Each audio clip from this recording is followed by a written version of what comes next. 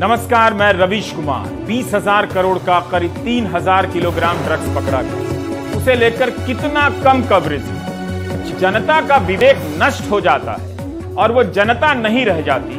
और आज जितनी है तो प्रति व्यक्ति आय दोगुनी बढ़ी हुई है। मंत्री जी अब कुछ भी बोल सकते हैं क्योंकि जनता ने कुछ भी समझना छोड़ दिया है। इतनी मेहनत इसलिए की जा रही है ताकि आप जब 117 रुपया लीटर पेट्रोल भरा कर घर आए 19 सितंबर को गुजरात के मुंद्रा पोर्ट से जब 3000 किलोग्राम ड्रग्स पकड़ा गया तो मुंबई की एनडीपीएस कोर्ट ने आर्यन खान की जमानत रद्द करते हुए कहा कि आर्यन के पास से ड्रग्स बरामद नहीं हुआ है।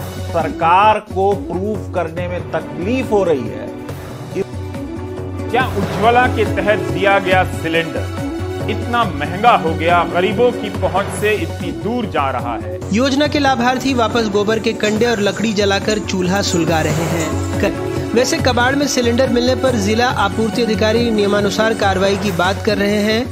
ऐसी जानकारी हमें नहीं है। नहीं अगर आपके पास ऐसी जानकारी आती है तो उज्ज्वला योजना के लोग कंपनियों को हम विज़िट करेंगे। तो ऐसी स्थिति है तो जब कार्रवाई करने के लिए हम बताएँगे। या गैस से, से ज़्यादा अहम है कि चूल्हा जलता रहे और इस महँगाई में तो चूल्हा जलाते रहना बड़े बड़ों की बस की बात नहीं रही। भिंड से दिलीप के साथ भोपाल से अनुराग द्वारी एनडीटीवी इंडिया। आप देख रहे थे प्राइम टाइम नमस्कार।